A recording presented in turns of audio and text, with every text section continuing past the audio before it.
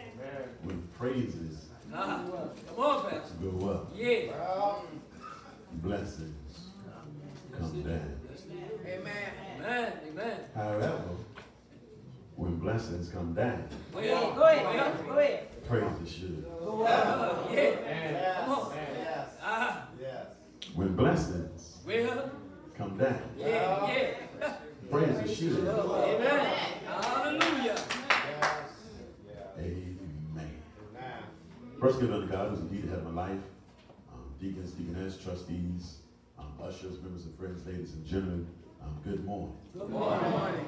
I am grateful to God to be standing in front of you on this morning. Um, just a couple quick things. God, thank you for what you are getting ready to do. God, you know the servant, when I preach a word, sometimes I get really excited and I speak a little fast. God, slow me down so your people can hear a word from you. Well, Anointing fall on me. Anointing fall on me. Lord, let the power of your Holy Ghost fall he leads. Um, just for some of you, just for some of you, I just changed the title about 30 seconds ago. Um, my original title for this morning was going to be Follow Christ. Um, but wherever he leads, um, everybody, everybody, everybody remembers that day. It was a joyful and glorious day. It was a time of excitement and optimism and, and renewed national pride for Israel. What started with a handful of disciples offering their praise to God turned into a citywide celebration. Yeah, yeah. And if we think about it, we can appreciate why. After all, the people of Jerusalem had been waiting for some time for something like this to happen for a long time. Their hope was that Jesus would launch a revolution against the Romans and free the holy city from Rome occupation. Still, if the truth be told, all of their hosannas couldn't hide the fact that Jesus was not quite what they really expected him to be. Come on, come on. Jesus wasn't really the Messiah that they had they thought that he was going to come. Well- But because most conquering kings rode into town on a white stallion ready for war. Yeah. Jesus came on a little coat of a donkey that almost left his feet dag dragging on the ground. Yeah. Plus, Come there was no swords in his hand, Yeah. nor any weapons attached to his side saddle. Yeah. In Yeah. fact, Jesus doesn't even have a saddle, only somebody's coat Well, was laying well, over yeah, it. yeah, and as we watch Jesus enter into Jerusalem with his friends and his followers, waving palm, the swords, we see of the heart of God. And at least one thing is clear. Jesus doesn't come to us on our terms. Well, Jesus comes on God's terms. yeah, yeah. But yet, Yeah. he comes. Yeah, come on. Okay. Yeah. Okay, y'all haven't woken up yet. At least Yeah. one thing is clear. Jesus doesn't come Yeah, to us yeah. in our turn. Uh-huh. Jesus comes on God's turn. Yeah. Yet he come. Because if y'all was really thinking about it, that's something. right there to be shouting about. that no matter how he's going to come, he's going to come. come on, yeah. He might not come how you want him, but he's going to show up inside of your situation. He's going to show up inside of your problem. That you need to rest assured that Jesus is going to come. That's good news for some of us this morning. That no matter how bad, no matter how rough, that God is going to show Oh, up in your situation. The people wanted a problem, a, a, a prophet.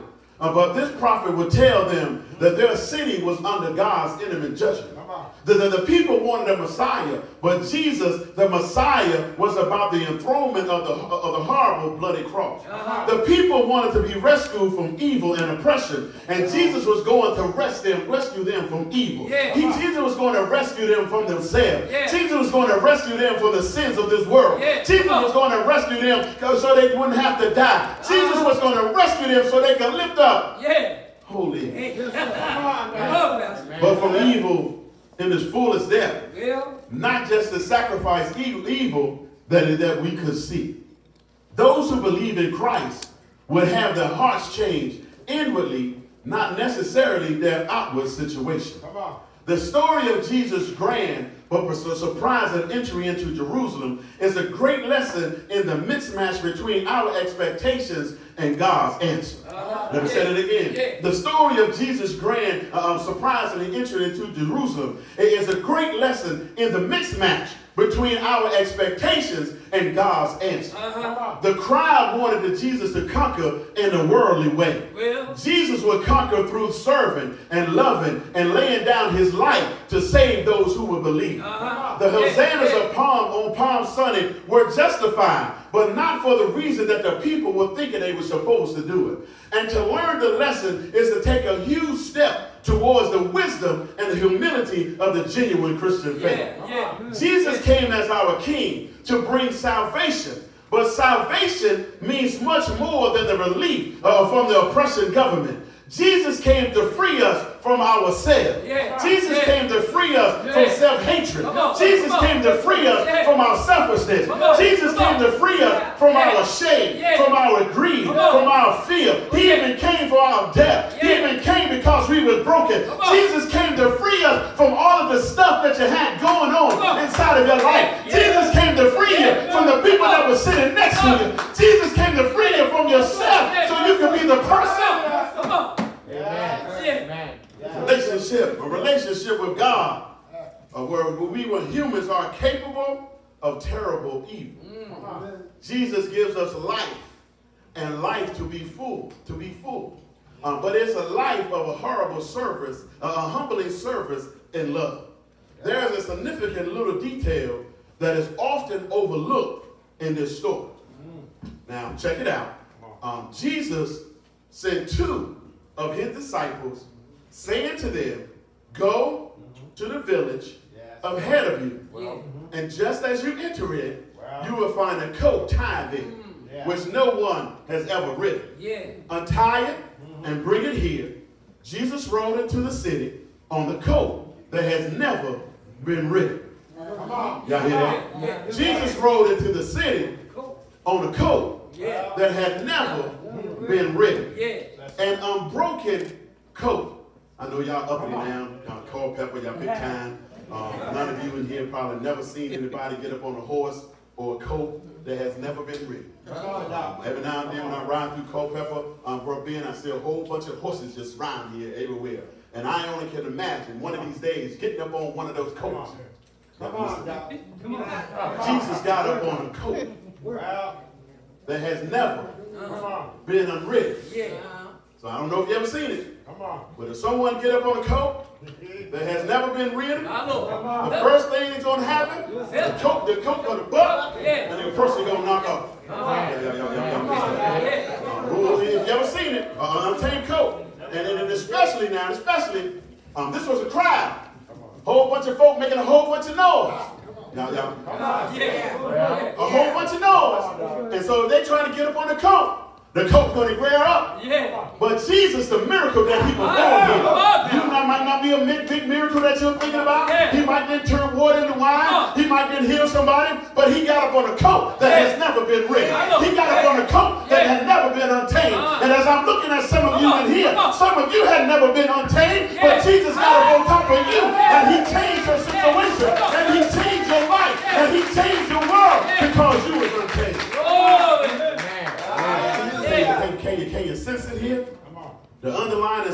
smile here that the writer of Mark Gospel um, contemplated this little miracle. Uh, it may seem less spectacular, but it still was a miracle. Um, Jesus is able to take a wild and chaotic and transform it into something magical. Come on now. Yeah. Come on now. Yeah. Come on. Come on. They missed Come on. it. They missed it. Uh, They, they, they, they, they missed it. Uh, so I'm gonna say this again uh, for the lady in the back who's visiting from the hairdresser. Say this. Uh, Jesus um, is taking the wild and the chaotic and transforming it into something Yeah. Magical. Yeah. Yeah. Yeah. Yeah. Come on, man. Go ahead, go ahead, Pastor. Go ahead. They, they, they still didn't get it. Uh-huh. I'm gonna say this one more time. Jesus Well. is able to take Yeah. the wild Uh-huh. and the chaotic Yeah. and transform it into something Yeah. magical. Uh-huh. Yeah. Come on. Yeah. Yes. Okay, I gotta help y'all Yeah. this Come on. Look at yourself. You used to be wild Yeah. and chaotic, Yeah. but look how God transformed your life. Look how He made you into something manageable. Look how He done some great things. Yeah. And so- oh, okay, okay, okay. Maybe I'm just talking to myself in this beat, and that nobody else in here have no issue. But I know about me. Uh, Yeah. Reverend your pastor here, having always lived the life that's pleasing to God, have, have not always done everything, having always dotted every I and crossed every T. But look what God has done Yeah, inside yeah, of my life. I used to be chaotic. I used to be unmanageable. But look how God is managing my life. Look how God has turned my life around. Look how God has made me a brand new person. Look what God is doing. Jesus is able to take what we may see as a lost cause or even a hopeless situation Yeah. and turn it into a bright, sunny, and gentle day. Uh-huh. Uh-huh. Yeah. Yeah. Y'all must be ready to go home. Come on. Jesus is able Yeah. to take what may see as a lost cause or a hopeless situation and turn it into a bright, sunny, and gentle day. Yeah. Yeah. Yeah. Yeah. Yeah. Come on. Dean Uh, Hamza, that sounds yeah. real good. Huh. This wasn't highlighted in Yeah. here, but My Lord. as I read this here, this thing here deep. Jesus Uh-huh. is able to take what we may see as a lost cause Oh yeah. or a hopeless situation Well. and turn it into a bright, sunny, Yeah. and, and gentle Yeah. day. Yeah. So did you hear that? Let me say it again for you. Saying, uh, uh, I'm saying, uh, um, here you go. Jesus is able to take Yeah. what we may see as a lost cause Uh-huh. or even a hopeless situation Yeah. and turn it into a bright, Uh-huh. sunny, Yeah. and gentle day. Yeah. Come on. Yeah. Come on. Uh, let me say this for you. Uh, uh, Jesus is able Hey. to, to, to, to take what we see as a lost cause Yeah. or Yeah. even a hopeless situation Yeah, and turn it into a bright, Yeah. sunny, Yeah. and gentle Yeah. day. Yeah. So every now and then in life, we get some stuff that Yeah. comes inside of our life Yeah. and it brings us down. Yeah. But God is letting us Come know on, that He can turn it into a bright Come and sunny and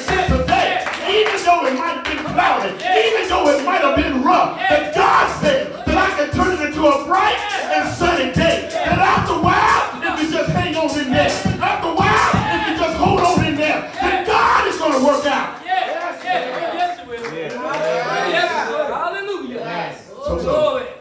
So instead of being bucked off mm-hmm. when he sat on the coat, Come on.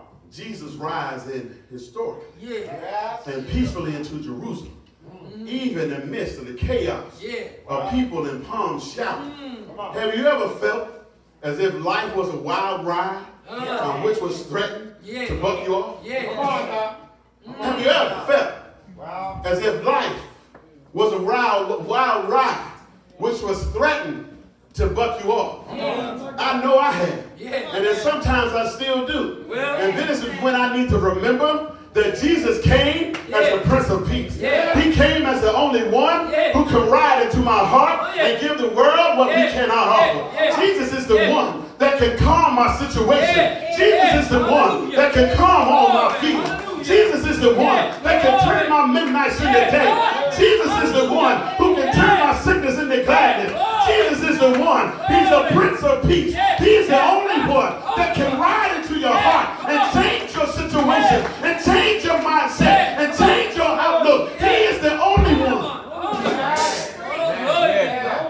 Knowing, knowing, knowing, and remembering this is what ultimately important in this life. Come on. When the crowds cry, mm. Hosanna to the Son of David. Yeah. Well. This is a prophet.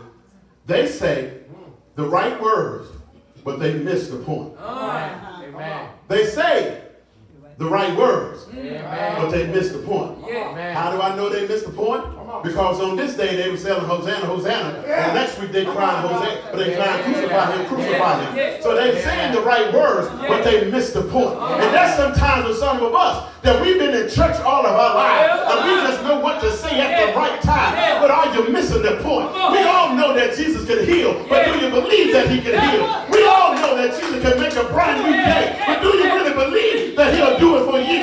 Do you really believe that he'll work it out inside of your life? Because some of us still miss the point. Yeah. Oh, glory. I know. Yeah. I come to realize you come to church. Y'all know when to say amen and you know when to say hallelujah. We say the right words. But we still miss the point. Yeah. Because if you weren't missing the point, you wouldn't get upset Yeah. every time things don't go your way. If you was missing the point, Yeah. when sickness comes about, you won't get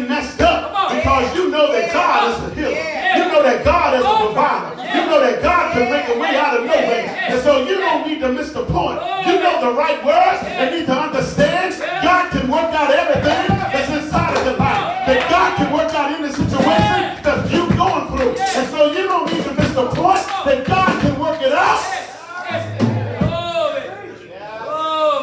Hallelujah. They all, Good news. um, you like this here, Marcus. Um, they all had the notes, but they had none of the music. They all had the right notes, but they didn't have the music. They had the theology, but they still ended up rejecting Jesus and calling for his death. Yeah. Knowing the truth is not the same thing as doing the truth. Ah. Ah. Amen. Knowing the truth Yeah. Yeah. is not the same thing you in here. Yeah. you know the truth, Yeah. but every now and then inside Yeah. of life, Yeah. you were doing some stuff that ain't part of the truth. You were doing some stuff that you know you shouldn't be doing. But if you know the truth, you need to live the truth. You need to live your life of the best life. When folks see you outside of these walls, they still need to know that you're a child of God. When folks see you at the hairdresser, they still need to know that you're a child of God. When they see you in the grocery store, they still should know that you're a child. Yeah. Oh, yeah. I know. I know. I heard, I heard, I heard a professor say one time, it is possible to make an A plus in the course of ethics, but still flunk life. Ah. Yeah. It- It's possible to make an A plus in the course of ethics and still flunk hot life. Uh, perhaps you, you, you, you've seen the old bumper sticker, honk if you love Jesus. I'm sure most of you seen it. Uh-huh. It says honk if you love Jesus. But dig diggers, I saw another one. It was a little bit better. It said tie if you love Jesus. Any fool can honk.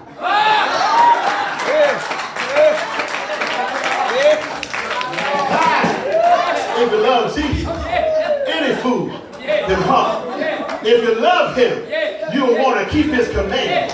If you love him, you'll want to do what his word is telling you to do. If you love him, you'll want the world to know that you love him. If you love him, you don't want to do what is right. If you love him, Yeah. Yeah. everybody, everybody, everybody, everybody loves a parade. And everybody loves to cheer. But Palm Sunday reminds us that Jesus came with a choice. We can stand and wave, or we can join the crowd that cheered Jesus on that day and watch him pass by. Or we can follow him and stand with him at the cross. Well- it is easy to shout, but it's harder to serve.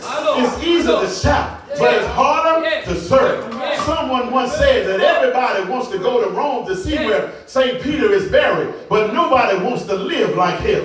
On. Palm Sunday, it is a great day to think about the reality of what it really means to welcome Jesus into our heart. This world, this life is so messed up Yeah. that Jesus came to set it right. Yeah. That Jesus came to set it straight. Yeah. And we are capable of Uh-huh. such greed. Yeah. And we are capable of doing the, the selfish stuff. Uh-huh. But I just want to stop by today to let somebody know Yeah. that you need to follow Christ. That you need to do the things that Christ Yeah. has called you to do. Yeah. Yeah. Oh, yeah. When we make the decision to step off the curb and follow Jesus, we must make the decision to die to this stuff and live for God. Oh, yeah. Oh, yeah. I know. When we make the decision to step off the curb Yeah.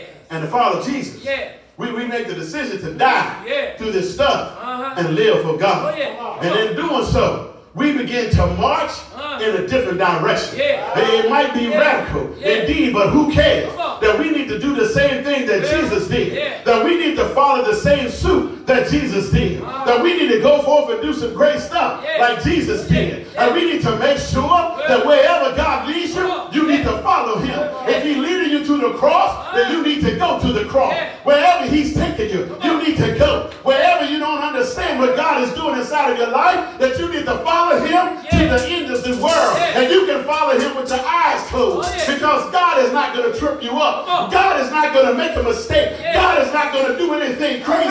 But you can follow him to the end of the world. Come on. Come on. Yeah. To love each other just as Jesus loves us. yeah. Yeah. Jesus' love looks like a cross. Mm. Jesus' love gives oneself for one and for the other. Yeah.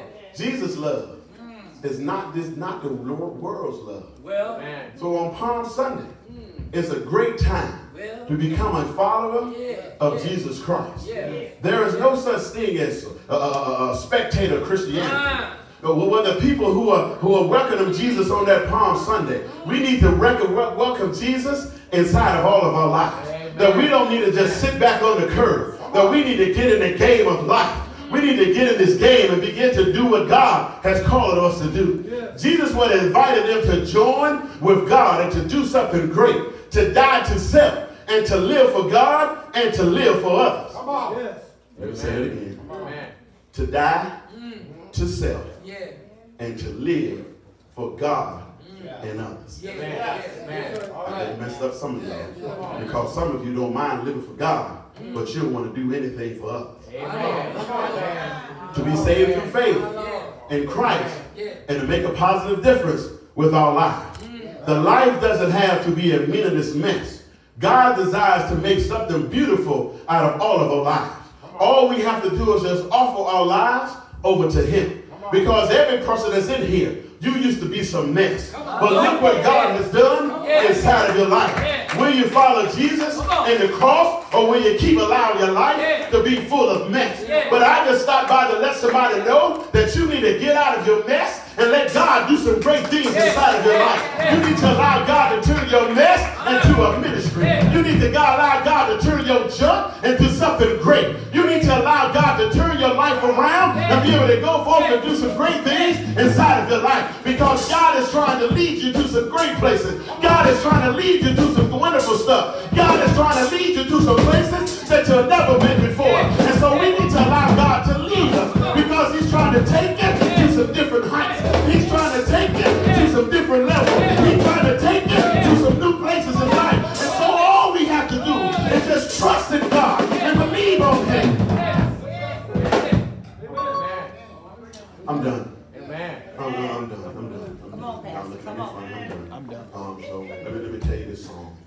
Song comes as Pat. Um, it goes something like this. It says, Take up thy cross and follow me.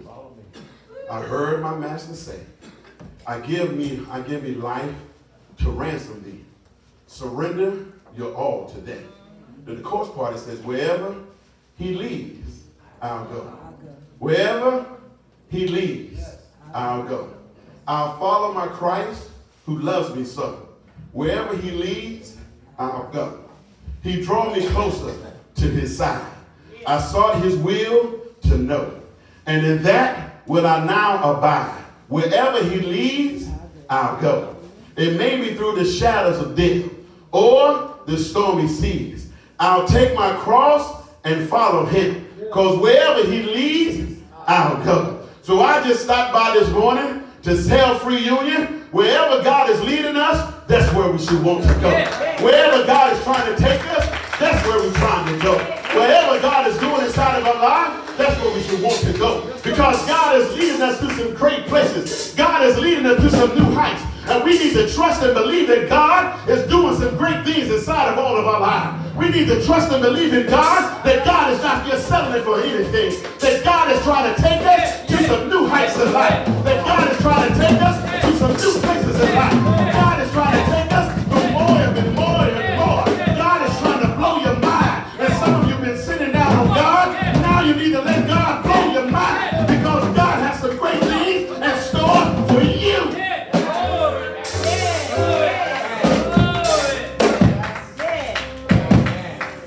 So I just stopped by this morning to tell somebody, wherever he leads, Yeah. I'm willing to follow. Yeah. Wherever he leads, I'm willing to follow. And this is a good thing. This is a good thing. Wherever he leads me, I'm willing to go. And if I have to go by myself, Oh, say if so. that's the way he leads me, that's where I'm going to go. And so we as a church, wherever God is trying to take us, that's where we should want to go. Because, because if you think about it, you think about it, you think about it. Yeah. They had these palms just flying everywhere, just flapping and flapping and flapping. And Jesus came in on a coat. And don't you imagine when he came through on a coat, there were some folk that didn't even really want to follow him. They was just out there because they was being nosy and wanted to see what everybody else was doing. But don't you have to understand that every now and then in life that you might need to follow Jesus all by yourself. When your friends don't want to follow him, that you might have to follow him by yourself. You might have to leave your family. You might have to leave your friends. But wherever Jesus is leading you, that's the place where you should go. And you need to trust and believe in God and let God do what God would have you to do. And so on this Palm Sunday, as we give out the palm plate on today, don't and folk gonna come to church on the day just to get some palm. But we need to understand it doesn't matter if you have the palm if you're not willing to follow where Jesus is trying to take you. You need to follow Jesus all throughout your life. You need to follow him wherever. Wherever.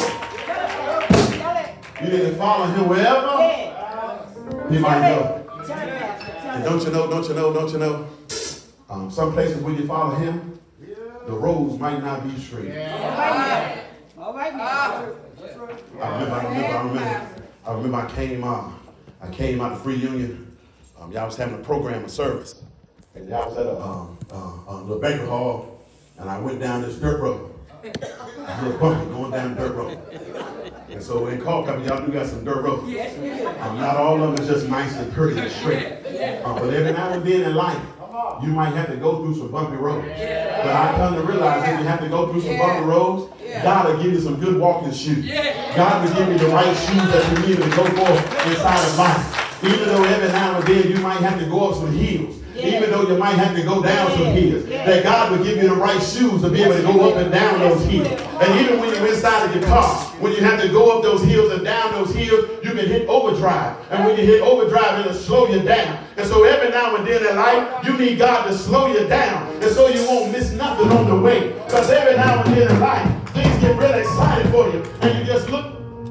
Yeah. Woo! Go ahead. Go ahead. I'm, I'm, I'm Go done. ahead. Go ahead. I don't know if you, my viewers ever been, uh, been in a situation, um, you've been going someplace, and, and, and you never paid attention. Yeah. And then all of a sudden somebody said, didn't you know there was a store? Uh, didn't you know there was some farm animals over there? And you said you ain't had never paid attention. That's same thing with God sometimes. That, that God is showing you some stuff and you're missing out on the things that God is trying to show you. And so I just want you to know today, wherever He leads you, Yeah. Yeah. wherever, Yeah. line, line. Just go to the places where God is trying to take you inside of life. And I know, I know, I know, I know, I know. um, some of you in here are like me. Um, you're, you're, you're fear, you're afraid of the unknown. Because most of our problem is, is the fear of the unknown. Uh, we don't know nobody that's been to heaven and came back and told you nothing about it. And so we get a fear of those certain things. Uh, um, all of us in here want to see Jesus, but none of us want to die. Uh, but we have to make sure that you have to get your life in order and make sure wherever God is trying to take you inside of life, that you're willing to go and do the things that God has called you to do. And so, on this Palm Sunday, wherever He leads you, Yeah. wherever Yeah. He leads you, you have to go. Yeah. And sometimes you got to go by yourself. All right now. Say. Sometimes you got to leave those friends alone. Sometimes you got to leave that loved one alone. Sometimes you got to leave that one that you've been cuddled up with. You got every now and then you got to leave them alone and be able to go to the places where God would have you to go inside of life.